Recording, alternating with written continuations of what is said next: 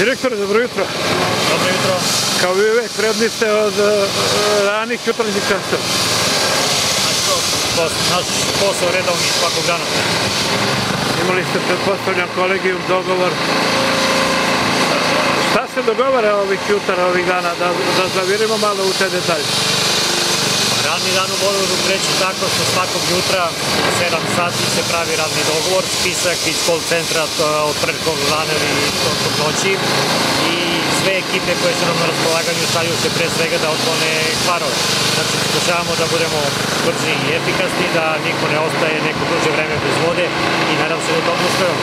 Dobili smo servisnu informaciju da danas za Napojska neće imati vode, priključujete Dušan Radović. Da, to je još jedan od onih, uslovno rečeno i po znacima navoda, sitnih ili manjih poslova. Znači da bi pomogli investitorima, bliži se početak školske godine, mi smo jednostavno htjeli odmah da uradimo naš deo posla. Znači priključak na vodu će danas biti završen, a na ljudima koji tamo rade da nadam se do 1. septembra završi taj posao. Evo nas u ulici e, Živojna Nikolića Brke. Ovo je još jedna u nizu ulica koje osvajate, da tako kažem. Da, ulica Živojna Nikolića Brke je još jedna ulica iz našeg godišnjeg plana, znači završili smo Jastrebačku ulicu, čija je dužina sa priključnim vodovima bila preko 1100 metara. Pri kraju smo sa radovima u Partizanskoj ulici, za nekoliko dana će i tamo biti gotovi svi poslovi i evo ovo je danas priprema sečenja asfalta za nešto što sledi tokom sledeće nedelje, početkom sledeće nedelje. Znači ovde ide isto zamena vodovodne mreže u ovoj ulici. Dužina je negde oko 250 metara znači radi se sve, glavne cevi, svi priključni vodovi, znači kada radimo jednu ulicu, ono sve što se tiče vodova radi kompletno. Mnogo je ulica u gradu, mnoge ste već, da tako kažem, prošli i uradili. Ovako sad možda ću vas zateći, ali u nekim procentima ili, ili u nekim metrima ili kilometrima, koliko ste e, već ulica, odnosno u koliko ulica ste već zamenili e, azbestne cevi, s obzirom da je to veoma značajno za naše sugrađane? Evo sad sam pokušao da se prisetimo čak i nekih ulica od prošle, preprošle godine i to teško ide. Znači svake godine mi zamenimo negde oko 3 km vodovodne cevi u gradu. Na dužina vodovodne mreže u gradu je 120 km. Ovih 3 km mi radimo već više od 10 godina, znači preko 30 km vodovodne mreže u gradu je zamenjeno i to je potpuno nova mreža. Mislim da to nije malo, znači uporni smo, kažem, pokušavamo svake godine da radimo po 3 km, pravimo spisak tokom tekuće godine evo, sa onim ulicama gde su česti kvarovi i naravno ta ulica je na spisku za sledeću godinu za rekonstrukciju.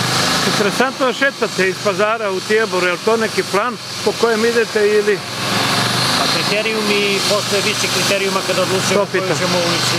Što se nas u vodovodu tiče, to je pre svega broj uh, kvarova, zatim uh, da. materijal, odnosno ukoliko je azbest ima prioritet i naravno treće je usklađivanje sa planovima direkcije za izgradnju grada, odnosno sa planovima za asfaltiranje.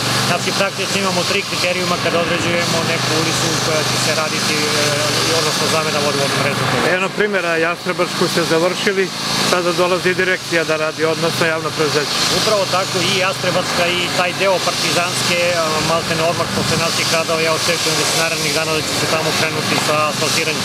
Tako da, ja to kažem, postoji više kriterijuma kada odlučujemo koju ćemo ulicu raditi, ali je najbitnije da otprilike se držimo tih nekih 3 km godišnje i kažem, mislim da smo tu prvu bitku sa vremenom dobili, znači sve one ulice gde su bili česti kvarovi, gde smo imali velike gubitke u mreži, jednostavno smo to eliminisali, uradili novu mrežu i eto, to funkcioniše U ostalom to vam pokazuje i monitoring, nešto što je savremeno i što nemaju mnogi.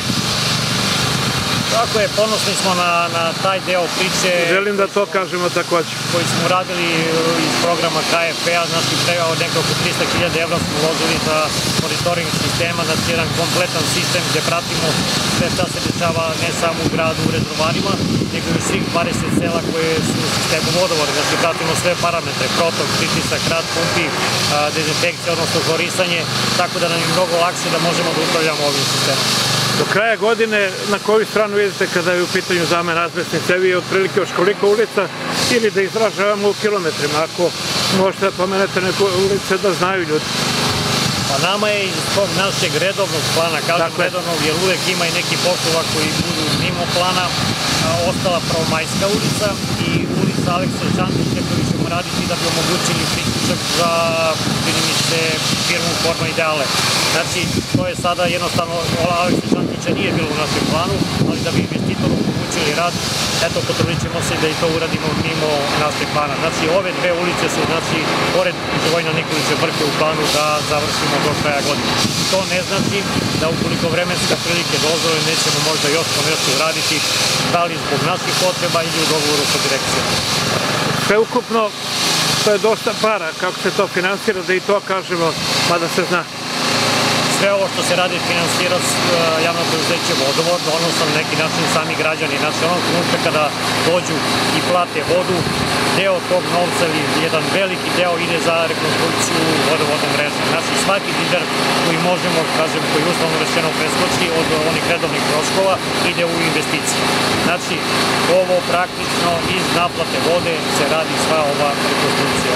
Kada ste vi vodovod i kanalizacija u pitanju i kada razgovaramo, hiljadu mi pitanja dođu, e, ajde da kažemo, oberilo se nešto. Benubac je nešto što se da ćemo možda sledeće nedelje posjetiti ili narednih desetak dana da biste videli tamo šta se dešava. Znači najveća investicija, 1.386.000 evra, radovi su u toku i tu pokušavamo da dobijemo trku s vremenom. Na tom velikom međunarodnom tenderu posle je dobilo jedinstvo iz Užica, izgradnje rezervoara, potpuno nova, nova filterska ispuna, novi filtri, nove pumpe, nova automatika, znači eto, jedna fabrika, mini fabrika vode i tu se borimo opet s vremenom, imali smo problema s projektom, dokumentacijom, u tom slučaju izvođač radova nije kriv nego projektant, ali uspeli smo da se izborimo s svim tim problemima i kažem tamo se radi. A ja se nadam da ćemo imati prilike svi zajedno da to možda sledeće neđe vidimo. Da ćemo, e sad da kažemo zbog čega je to važno. Ja pitam sugestivno, neću ja da kažem, vi šta kažete. S obzirom da su u proteklom periodu tu i tamo imali određene probleme, ne samo vi, već i sa jednom institucijom i tako dalje. Imali smo ono je ono što, što je problema, što je stvari bila najslabija tačka u našem sistemu, to je povremeno zamućenje vode na izvorištu Krupac. Iz tog razloga smo hteli da tu pojavu eliminišemo, tada nam deo grada ili cela Tijabara ostane bez vode za piće i hteli smo da predupredimo sve te stvari koje se dešavaju jednom godišnje, ali koje jednostavno nisu prijatne. Bez obzira što to možda traje svega 3-4 dana ili 5, hteli smo da naš sistem bude potpuno imun na sve te promene. Znači, upravo zato se sve ovo radi i ja se nadam do kraja godine ili eventualno januar mesec da ćemo mi taj problem rešiti. Polako ste već pri kraju sa trošenjem para iz KFP-a. Mi smo bukvalno na kraju, znači čitav program je vredeo 3 miliona evra. Tako je. Najveći deo novca je potrošen, to nešto malo para što uslovno rečeno preskače nekih 250.000 evra, najverovatnije će biti utrošeno na kupovinu kanal džeta, odnosno slivnica. Imamo samo jednu takvu mašinu, govorimo o čišćenju slivnika i iskoristit ćemo ovu priliku jer ovdje imamo 30% donacije, oslobodili smo carine i poreza da obnovimo potpuno i naš vožni park, odnosno tu opremu za održavanje kanalizacije. Imam još dva pitanja samo, ajmo o selima malo. Kada govorimo o selima, hteo bih još jednu stvar da istaknem da mi radimo u selu Izvor, kanalizaciju, krenuli smo od reke Nišave prema postrojenju i praktično uradili tih nekih 300-350 metara do sada, znači praktično smo došli veoma blizu postrojenja i nastavit ćemo planje ove godine da dođemo do puta do asfalta, a sledeće godine sa prvim danima radimo mrežu kroz selo. Znači, kada smo u pitanju sela, ovo je isto jako, jako velika i značajna investicija, ali da su u slučaju ne voda, nego kanalizacija. Da li je na spisku još neko selo da nešto radite, s obzirom da ste uspostavili izuzetno dobro saradnju i da već e, mesne zajednice seoske polako same dolaze kod vas, a nekada nisu hteli?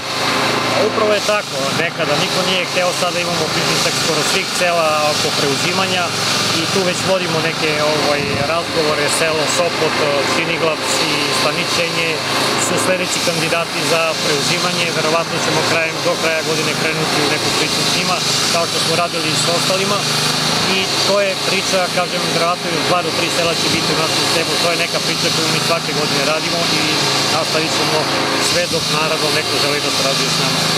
Uvek citiram Vladana Vasića kad postavljam ovo pitanje, on je rekao kad uradimo postrojenje za prečišćavanje vode, bit ćemo u potpunosti zeleni grad. Znam da je to teško pitanje, znam da a, treba mnogo para, ali vi razmišljate i o tom. To je sledeća investicija, najveća za vodovod, čini mi se velika i za grad Pirot i za Srbiju. E, 10 miliona evra bi trebalo da se uloži u postrojenje za prečišćavanje otpadnih voda na nivou grada.